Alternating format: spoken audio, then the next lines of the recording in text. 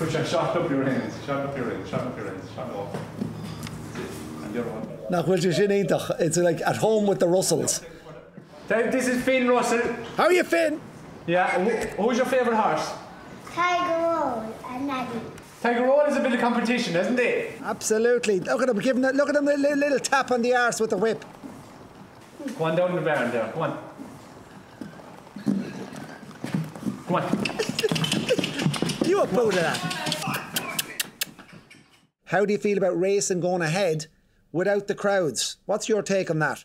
You know, we're all very aware what's what's ahead of us and, and we'll we'll do it right and we'll say the atmosphere isn't there but you know, you're on the horse and you get in the race.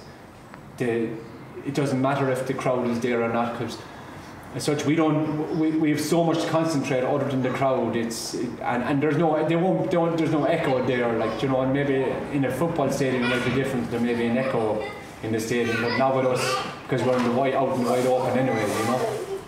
Well, you've given everyone up and down the country some of the greatest moments of sport.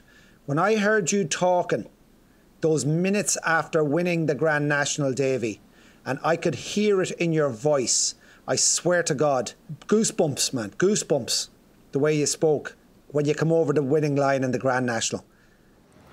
for me, the Grand National was the one that I dreamt about and that I re that I reenacted as a kid, and